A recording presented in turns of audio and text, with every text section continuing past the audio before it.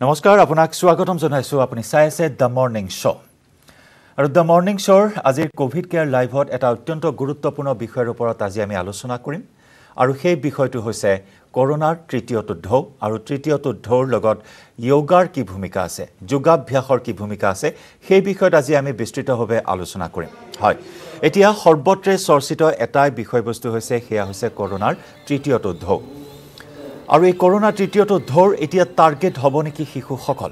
যথেষ্ট উদ্বেগজনক এটা বিষয় যথেষ্ট চিন্তনীয় এটা বিষয়। বিশেষকৈ শিশুসকল সংক্ৰমিত হ'ব নেকি এই তৃতীয়টো ঢৌত যিহেতু বিশেষজ্ঞ বা বিজ্ঞানীসকলে কৈ আহিছে যে আৰু ডেৰ দুমাহৰ ভিতৰত তৃতীয়টো ঢৌৱে সংহাৰ লীলা চলাব সমগ্ৰ দেশত। এই ভৱিষ্যতবাণী কৰা হৈছে আৰু যাৰ পৰিপ্ৰেক্ষিতত এতিয়া প্ৰশ্ন এটাই যে তৃতীয়টো ঢৌৰ টাৰ্গেট হ'ব নেকি শিশুসকল? আৰু এনে ক্ষেত্ৰত এতিয়া এটাই প্ৰশ্ন আমি কেনেদৰে সুৰক্ষা প্ৰদান কৰিম আমাৰ শিশুসকলক বা আপোনাৰ সন্তানটিক? এই ক্ষেত্ৰত অভিভাৱক হিচাপে আপোনাৰ কৰণীয় কি দায়িত্ব কি? আৰু বিশেষকৈ এই ক্ষেত্ৰত অত্যন্ত গুৰুত্বপূৰ্ণ বিষয় হিচাপে পৰিগণিত হৈছে যে ৰোগ প্ৰতিৰোধ ক্ষমতা কেনেদৰে বৃদ্ধি কৰিব আপোনাৰ সন্তানটিৰ? কেৱল চিকিৎসকৰ পৰামৰ্শই নহয় ক'ভিডৰ বিৰুদ্ধে যুঁজ দিবলৈ এতিয়া প্ৰয়োজন আপোনাৰ সন্তানটিক যোগাভ্যাসৰ।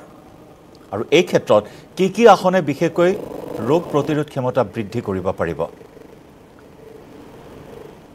গতিকে যোগ আসনেৰে কেনেদৰে ক'ভিডৰ বিৰুদ্ধে যুঁজ দিব পাৰি সেই বিষয়ে আজি আমি আলোচনা কৰিম। আৰু আজি ক'ভিড কেয়াৰত আমাৰ সৈতে উপস্থিত থাকিব যোগ বিশেষজ্ঞ অনিল হাজৰিকা লাইভ।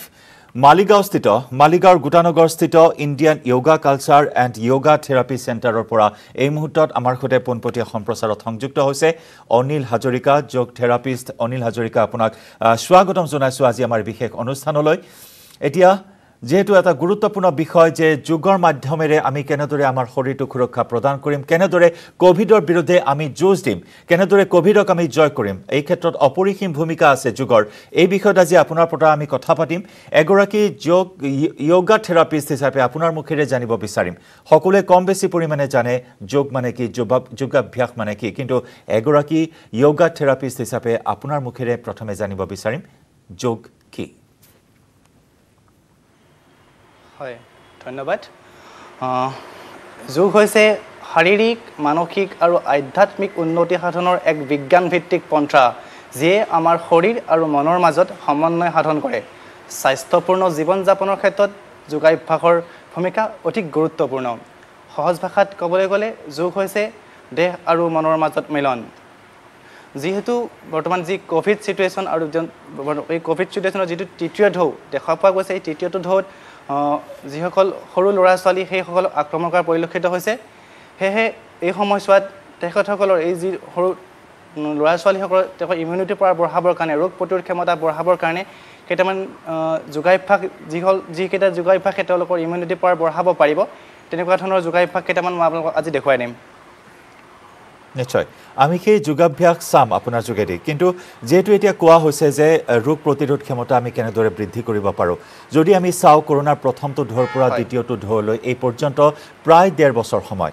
প্ৰায় ডেৰ বছৰ সময় ধৰি ঘৰতে আবদ্ধ হৈ আছে ছাত্ৰ ছাত্ৰীসকল বা শিশুসকল। তেওঁলোকৰ শাৰীৰিক বিকাশৰ ক্ষেত্ৰতো কিন্তু কোনো ধৰণৰ এটা ডেভেলপমেণ্ট দেখিবলৈ পোৱা হোৱা নাই। যিহেতু ঘৰতে তেওঁলোক আবদ্ধ হৈ আছে। কৰোণাৰ বাবে স্কুললৈ যাব পৰা নাই বা বিশেষ ফিজিকেল এক্টিভিটিও তেওঁলোকে কৰিব পৰা নাই। গতিকে তেনেস্থলত এই শিশুসকলক বা ছাত্ৰ ছাত্ৰীসকলক যোগাভ্যাসেৰে কেনেদৰে শাৰীৰিক বিকাশ বা ৰোগ প্ৰতিৰোধ ক্ষমতা বৃদ্ধি কৰিব পৰা যায় কৰোণাৰ বিৰুদ্ধে আমি কেনেদৰে যুঁজ দিব পাৰিম এনেদৰে যোগাসনেৰে। হয়। আমি সকলোৱে জানো আমি প্ৰতিজন মানুহৰ এটা ৰোগ প্ৰতিৰোধ ক্ষমতা থাকে। আৰু এই ৰোগ প্ৰতিৰোধ ক্ষমতাটো কিছুমানৰ ক্ষেত্ৰত বেছি হয় আৰু কিছুমানৰ ক্ষেত্ৰত কম হয়। যোগাভ্যাস এনেকুৱা এটা মাধ্যম যাৰ জৰিয়তে আমি সকলোৱে আমি আমাৰ ৰোগ প্ৰতিৰোধ ক্ষমতাটোক বঢ়াই তুলিব পাৰোঁ। আৰু যিসকল যিহেতু সৰু ল'ৰা ছোৱালীসকলৰ কথা কোৱা হৈছে মই এই ল'ৰা ছোৱালীসকলৰ তিনিটা কেটেগৰীত মই দেখুৱাই দিম আপোনালোকক কেনেকৈ ধৰণৰ কেনেকুৱা ধৰণৰ যোগাভ্যাসে তেওঁলোকক তেওঁলোকৰ ৰোগ প্ৰতিৰোধ ক্ষমতা বঢ়াব পাৰিব।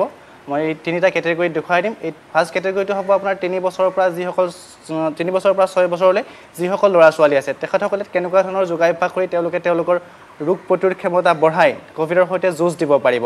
আৰু দ্বিতীয়টো হৈছে ছয় বছৰৰ পৰা যিসকল বাৰ বছৰৰ ল'ৰা ছোৱালী আছে সেই ছয় বছৰৰ পৰা বাৰ বছৰৰ ল'ৰা ছোৱালীসকলে কেনেকুৱা ধৰণৰ যোগাভ্যাসৰ জৰিয়তে তেওঁলোকে তেওঁলোকৰ ৰোগ প্ৰতিৰোধ ক্ষমতা বঢ়াব পাৰিব। আৰু তৃতীয়টো হৈছে বাৰৰ পৰা ওঠৰ বছৰ যিসকল ল'ৰা ছোৱালী আছে তেওঁলোকে কেনেকৈ তেওঁলোকৰ ৰোগ প্ৰতিৰোধ ক্ষমতা বঢ়াব পাৰিব? প্ৰত্যেকৰ ক্ষেত্ৰতে আসন প্ৰাণায়ামসমূহ ডিফাৰেঞ্চ থাকিব। চ' তেনেকুৱা তেনেকুৱা ধৰণৰ আমি আসন প্ৰাণায়াম কৰিব লাগিব এজ ৱাইজ হয়। ঠিক আছে আপুনি যিহেতু কেটেগৰীৰ কথা ক'লে কেটেগৰাইজ কৰি আপুনি আমাক দেখুৱাব আজি। তিনিটাকৈ পৰ্যায়ত আমি ভাগ আপুনি ভাগ কৰি লৈছে যে তিনিৰ পৰা ছয় বছৰ ছয়ৰ পৰা বাৰ বছৰ বাৰৰ পৰা ওঠৰ বছৰ। গতিকে এইখিনি আমি চাম কিন্তু তাৰ সমান্তৰালকৈ আমি দৰ্শকসকলক জনাওঁ যে আপোনাৰ যদি যোগ সম্পৰ্কত কিবা জানিবলগীয়া আছে কেনেদৰে যোগ আপোনালোকে আপোনালোকে আৰম্ভ কৰিব আপোনাৰ সন্তানটি কেনেদৰে যোগাভ্যাস কৰাব ঘৰত থাকি শিশুটিৰ শাৰীৰিক বৌদ্ধিক বিকাশ কেনেদৰে বৃদ্ধি কৰিব যোগৰ মাধ্যমেৰে এই বিষয়ে যদি কিবা জানিবলগীয়া আছে তেতিয়াহ'লে আমালৈ ফোন কৰক। আমাৰ ফোন লাইন ইতিমধ্যে সক্ৰিয় হৈ আছে। গতিকে ফোন কৰি আপুনিও দিহা পৰামৰ্শ ল'ব পাৰিব। অনিল হাজৰিকাৰ পৰা। য়োগা থেৰাপিষ্ট অনিল হাজৰিকা আছে। আমাৰ সৈতে আজি পোনপটীয়া সম্প্ৰচাৰত। হয় অনিল হাজৰিকা মই আপোনাৰ কাষলৈ আহিছোঁ। আপুনি যিহেতু জনাইছে যে তিনিৰ পৰা ছয় বছৰলৈ এইসকল শিশুৰ বাবে কেনেকুৱা ধৰণৰ আসনে যথেষ্ট উপকৃত কৰিব ক'ভিডৰ বিৰুদ্ধে যুঁজাৰ ক্ষেত্ৰত শিশুসকলক সকাহ প্ৰদান কৰিব? অ'কে হয়। তিনি বছৰৰ পৰা ছয় বছৰ যিসকল ল'ৰা ছোৱালী আছে তেখেতসকল একেবাৰে আনমিচিয়ৰ্ড হয়। গতিকে এই ক্ষেত্ৰত তেওঁলোকক যোগাভ্যাস কৰিব লগা কৰিবলৈ হ'লে তেওঁলোকক মাক দেউতাকৰ ভূমিকা যথেষ্ট গুৰুত্বপূৰ্ণ হ'ব এই ক্ষেত্ৰত। চ' যদি তিনি বছৰ ছয় বছৰ যিসকল ল'ৰা ছোৱালী আছে তেওঁলোকক যিহেতু একেবাৰে আনমিচিয়ৰ্ড আৰু তেহেঁতক যিহেতু আমি সকলো বস্তু সকলো যোগাভ্যাস তেওঁলোকক কৰাব নোৱাৰোঁ চ' তেওঁলোকৰ কাৰণে মই কেইটামান স্পেচিয়েল যোগাভ্যাস আপোনালোকক মই দেখুৱাব বিচাৰিছোঁ যিকেইটা যোগাভ্যাসৰ জৰিয়তে তেওঁলোকে তেওঁলোকৰ ৰোগ প্ৰতিৰোধ ক্ষমতাটোক বঢ়াই তুলিব পাৰিব। চ' মই প্ৰথমটো দেখুৱাব বিচাৰিছোঁ আমি সকলোৱে জানো আমাৰ শৰীৰত এটা গ্লেণ্ড আছে যিটো হৈছে আমি হাৰ্ট যিটো গ্লেণ্ডে আমাৰ শৰীৰত অহৰহ ব্লাড চাৰ্কুলেশ্যন কৰাত সহায় কৰে। আৰু সেই হাৰ্টটো যদি অলপ সময়ৰ কাৰণে ষ্টপ হৈ যায় আমাৰ শৰীৰত তেতিয়াহ'লে আমাৰ শৰীৰটোত ব্লাড চাৰ্কুলেশ্যন বন্ধ হৈ যাব। ঠিক সেইদৰে আমাৰ শৰীৰটোত ব্লাড চাৰ্কুলেশ্যন চলি থাকিবলৈ হ'লে আমাৰ হাৰ্টটোক আমি ঠিকে ৰাখিব লাগিব। কিন্তু যিহেতু তেওঁলোকৰ বয়স মই তিনি বছৰৰ পৰা ছয় বছৰ ধৰিছোঁ ফাৰ্ষ্ট ষ্টেজটো তিনি বছৰৰ পৰা ছয় বছৰ ল'ৰা ছোৱালীক যিহেতু আমি সকলো আসন প্ৰাণায়াম কৰাব নোৱাৰিম চ' তেওঁলোকৰ কাৰণে মই এটা স্পেচিয়েল আসন দেখুৱাইছোঁ যিটো হ'ব আপোনাৰ কোৱা হয় এংকুল ষ্ট্ৰেটছ ব্ৰিথিং এক্সাৰচাইজ আমি জানো আমাৰ হাৰ্টটো আমাৰ হৈছে ফাৰ্ষ্ট অৰ্গেন যিটো আমাক ব্লাড চাৰ্কুলেশ্যনত সহায় কৰে। আৰু আনহাতে আমি আপোনাৰ যিহেতু আমাৰ ভৰিৰ যিটো কাফ মাচুল আছে এই কাফ মাচুলটো কোৱা হয় আমাৰ ছেকেণ্ড হাৰ্ট যিটো হৈছে এটা পাম্পিং টিচু যিটোৱে আমাৰ শৰীৰত ব্লাড চাৰ্কুলেশ্যন বঢ়োৱাত সহায় কৰে। চ' মই তেনেকুৱা এটা আসন আপোনালোকক দেখুৱাব বিচাৰিছোঁ যিটোৱে আপোনালোকৰ এই শৰীৰটোত ব্লাড চাৰ্কুলেশ্যন বৃদ্ধিত সহায় কৰিব। চ' মই প্ৰথম আসনটো দেখাব বিচাৰিছোঁ এংকুল ষ্ট্ৰেচ ব্ৰিথিং এক্সাৰচাইজ তাৰ কাৰণে আমি থিয় হ'ব লাগিব। থিয় হৈ দুয়োখন ভৰিৰ পতাটো লগ লাগি থাকিব। এতিয়া দুয়োখন হাত আমি ওপৰলৈ ষ্ট্ৰেচ কৰিম। হাতখন যিমান পাৰোঁ আমি ওপৰলৈ ষ্ট্ৰেচ কৰিম। এতিয়া উশাহ লৈ আমি আমাৰ গেৰুৱাটোৰ ওপৰলৈ উঠাম। Inhale heel off. আৰু এক্সেল কৰি ডাউন কৰিম। উশাহ এৰি এৰি নমাই দিম। আকৌ হাতখন ওপৰলৈ উঠাম। উশাহ লৈ লৈ শিলটো ওপৰলৈ উঠাম। উশাহ এৰি শিলটো নমাই দিম। এইদৰে এই আসনটো আপুনি পাঁচৰ পৰা দহবাৰ অভ্যাস কৰিব পাৰিব। যিটো আসনে আপোনাৰ যিটো কাফ মাচুল আছে সেই কাফ মাচুলটো আপোনাৰ পাম্পিং অৰ্গেন এটা হয় যিটোৱে আপোনাৰ শৰীৰত ব্লাড চাৰ্কুলেশ্যন বৃদ্ধি কৰিব। এইটো হৈছে আপোনাৰ ফাৰ্ষ্ট এক্সাৰচাইজ যিটোৱে আপোনাৰ শৰীৰত ব্লাড চাৰ্কুলেশ্যন বৃদ্ধি কৰিব। আৰু ছেকেণ্ড মই এটা প্ৰাণায়াম দেখুৱাব বিচাৰিছোঁ যিটো প্ৰাণায়ামে তেওঁলোকৰ লাংছৰ কেপাচিটিটো বঢ়াই তুলিব লাংছৰ কেপাচিটি বঢ়াই তোলাৰ লগে লগে তেওঁলোকে অনিল হাজৰিকা আপোনাৰ কাষলৈ আহিম। লাঙৰ কথা আপুনি কৈছে অত্যন্ত এটা গুৰুত্বপূৰ্ণ বিষয় কভিডৰ সৈতে এতিয়া লাঙৰ সম্পৰ্ক যিহেতু লাং ইনফেকশ্যন হোৱা দেখিবলৈ পোৱা যায়। গতিকে লাংটো আমি কেনেদৰে সুৰক্ষা প্ৰদান কৰিব পাৰোঁ এই যোগাভ্যাসৰ যোগেদি অত্যন্ত এটা গুৰুত্বপূৰ্ণ বিষয়। আপোনাৰ কাষলৈ আহিম। এই আসনো আমি চাম। এটা দৰ্শকৰ ফোন কল আছে আমি এগৰাকী দৰ্শকৰ ফোন কল এই মুহূৰ্তত লৈ লৈছোঁ। স্বাগতম জনাইছোঁ আপোনাক। আপোনাৰ প্ৰশ্নটো সোধক। য়োগা থেৰাপিষ্ট আছে অনিল হাজৰিকা আমাৰ সৈতে লাইভত। হেল্ল' হেল্ল' হয় আপোনাৰ প্ৰশ্নটো কৰক নমস্কাৰ। নমস্কাৰ মোৰ নাম প্ৰকাশ মই খাৰুপিটিয়াৰ পৰা কৈছিলোঁ। হেল্ল' হয় শুনি আছোঁ। হয় হয় আপোনাৰ কুৱেশ্যনটো সুধিব।